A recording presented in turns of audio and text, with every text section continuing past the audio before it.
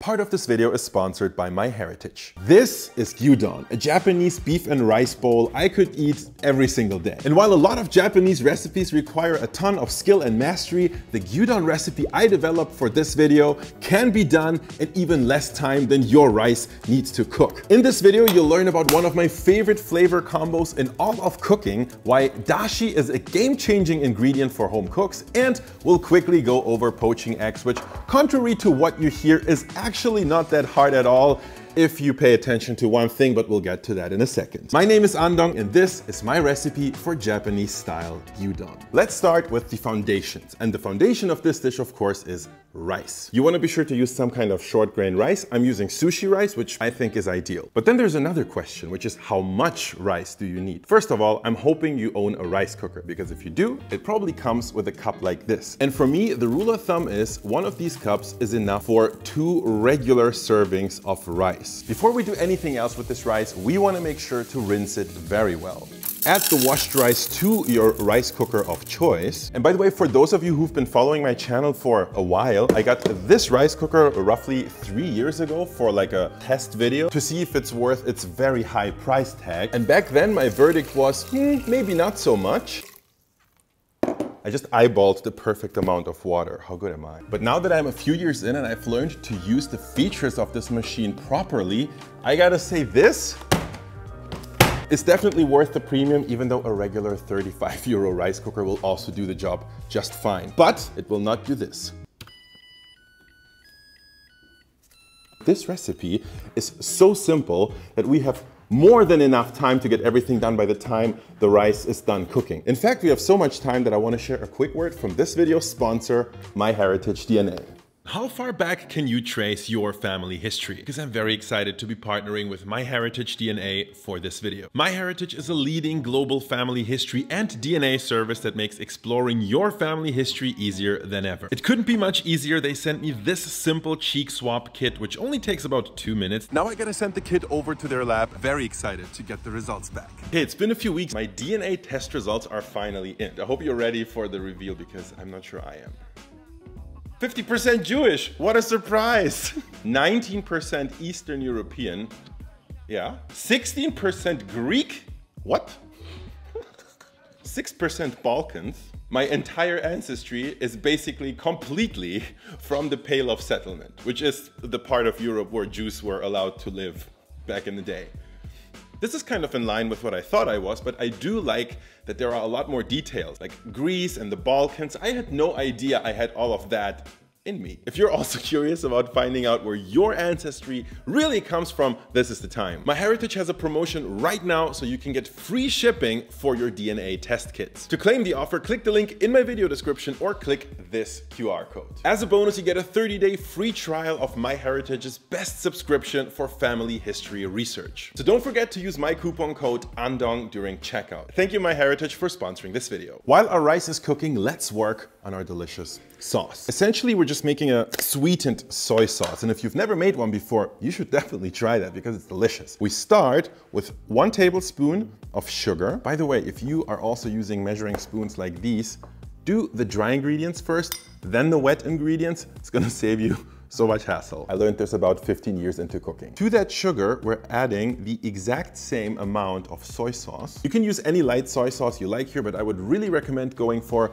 a good Japanese brand like Kikkoman or something to really get that signature Japanese style flavor. Next, we have one tablespoon of dark soy sauce. Dark soy sauce is not super relevant to the flavor, but it is very relevant to the right appearance and color of this dish. That's what dark soy sauce is mostly used for these days. Now let's talk about one of my favorite ingredients of all time, and that is dashi. I don't even know how to describe dashi properly. It is traditionally made from kelp and like dried smoked tuna flakes. This is probably the most important building block of Japanese cuisine in general. And while normally dashi isn't a powder from a little sus looking uh, bag, in fact normally it's basically a broth. But honestly for a quick weekday recipe, I feel like using instant dashi powder is absolutely fine. For that nice and nutty note, we're gonna do two teaspoons of sesame oil. All the essential flavors are in here now, but for me personally,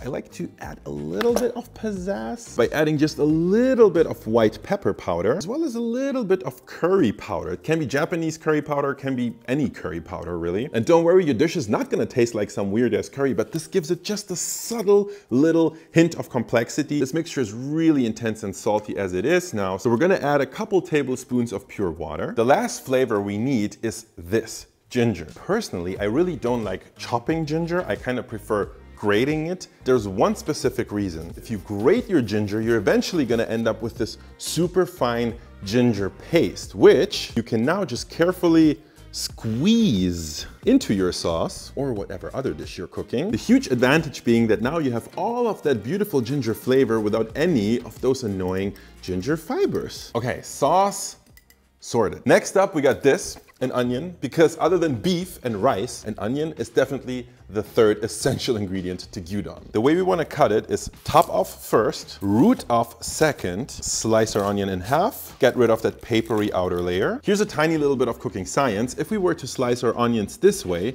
they would stay more intact during cooking. Now, if we turn our onion 90 degrees and we slice our onion this way, the pieces of onion we're gonna get are more likely to kind of almost melt and fall apart in our dish, which for this particular dish is actually what I prefer. But like an onion itself, the flavors of onion we're gonna add to this dish have layers. We're also gonna be using scallions. We're gonna use these as a topping, but nevertheless, we do have to chop them very, very finely. And please do me a favor, Go slowly and get them super thin. It's really gonna look so much nicer on your final dish. Next ingredient we're gonna need for garnish is this, which is pickled ginger. You might have had this stuff at a sushi restaurant. Sometimes it looks like this, sometimes it looks pink. You can absolutely use the store-bought stuff, even though mine is homemade. And if you're interested in how to make this at home, because it does taste a little bit better, please leave me a comment and I might make a short on it because it's super simple. With the pickled ginger, you just wanna make sure to chop it into super, super thin strips. There's one ingredient that in my world always levels up a gyudon, and that is eggs. You can add a soft boiled egg, a sunny side up egg, whatever floats your boat. But for me personally, the best type of egg to add to gyudon is a poached egg. And for some reason, a lot of people, even the ones that are pretty good at cooking, shy away from poached eggs. And today, I wanna change that. Let's quickly go over how I make my poached eggs and maybe I'll take your fears away. First, you wanna gently crack your eggs over a fine mesh strainer to get rid of excess liquidy egg whites. Collect your strained eggs in a little bowl. You can put them all in one actually. Now to a little pot with simmering, not boiling water, we want to add about one tablespoon of white vinegar, a very generous pinch of salt. Both of these will help the egg firm up sooner and keep its shape. I take everything back about poached eggs being easy. About six to seven eggs in. Still, all we have is an ugly mess. Especially the freshness and quality of the egg really plays such a huge role when you're poaching eggs. By the way, this is Andong from the near future, about two hours after we finished shooting. And we just redid the exact same method and we just used very fresh organic eggs and it works beautifully. So that means the secret really is to use fresh, good quality eggs and poach them for two and a half to three minutes. This is the result I was going for. And it's not, it's, re it's really not that hard. I wish I had bought good quality eggs for the first attempt, but I didn't. And by the way, that whole making a vortex for poached eggs, it doesn't hurt, but it also doesn't really help. So I prefer to just skip that part and go straight in with my eggs, poach them for roughly two and a half to three minutes, depending on how soft you like them, and then get them out. You can shock them in cold water, but you don't have to. Now let's get to the juicy part, which is of course the final assembly of all of our prepared ingredients. First, get a large skillet over medium-high heat, to which we're now gonna add a knob of butter. Yes, butter. Let's get that going just a little bit. Don't wait too long. Before the butter burns, you wanna add in all your onions. While our onions are caramelizing and smelling absolutely beautiful, let me say a few words about that knob of butter I used. It's not just the fact that butter tastes amazing. It's also the fact that butter and soy sauce are a match made in heaven. So whenever you have a chance of using these two together, definitely give it a consideration. It's usually quite good. Our onions are looking beautiful, so it's time to add some beef. Try to flatten and break up the meat with your spatula. This is looking and smelling really good. And when the meat looks like it's about 80% done, this is the time to add and stir in your sauce. Cook those together for about one and a half minutes and you're good. Now for the kicker, turn off the heat. Now with the heat off, but everything still super hot, I'm gonna take a second knob of butter and then gently but quickly mix that in. We're actually stealing a technique from pasta making here.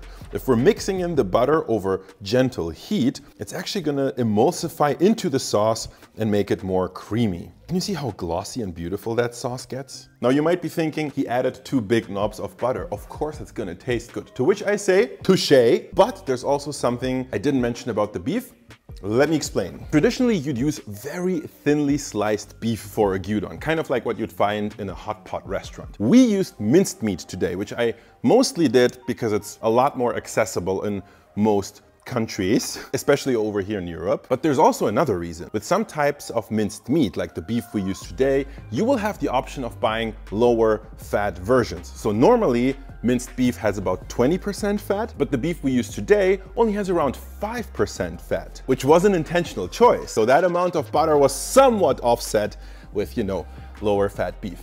So let's assemble everything. Wait. Rice is of course done cooking now.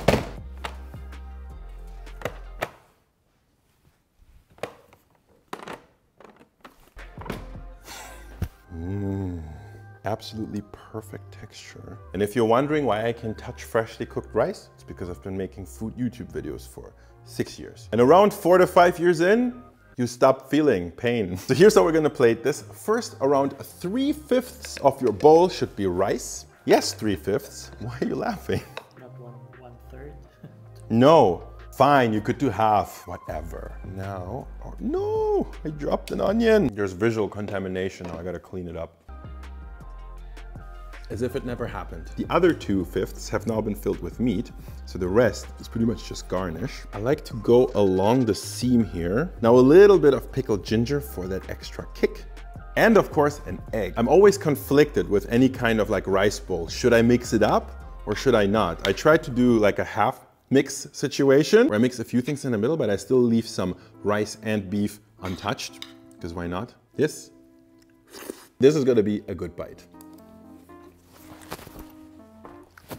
Yes. I mean, yes, I'm super hungry, but also this just tastes very, very, very good. There are very few dishes where you really don't have to try very hard to make something taste freaking amazing. When gonna get a really good bite with some egg, some rice, some beef, some onions, everything. Mmm, so satisfying. Mmm, very good. I think AP should try a bite. Rice with meat, my favorite. Spoken like a true Filipino. Yes. Who doesn't like rice and beef? Yeah. Mm, butter and soy sauce. Mm-hmm. It works, right? Yes. It's a really good combo. Super good. Mmm. The sweet ginger, super good. You learn a lot about flavor. That sweet soy butter combo is just mind-blowingly good. The addition of even powdered dashi adds so much to this dish. And I also love how, for example, you taste quite a bit of ginger, but you don't have a single morsel of ginger flesh in the dish. I don't know, could be my last meal. Thank you guys so much for watching and also thanks again to MyHeritage DNA for sponsoring this video. I really enjoyed finding out more about my family history. So if you are interested in this type of thing, definitely check out the link in the video description below. I'll see you guys in the next one.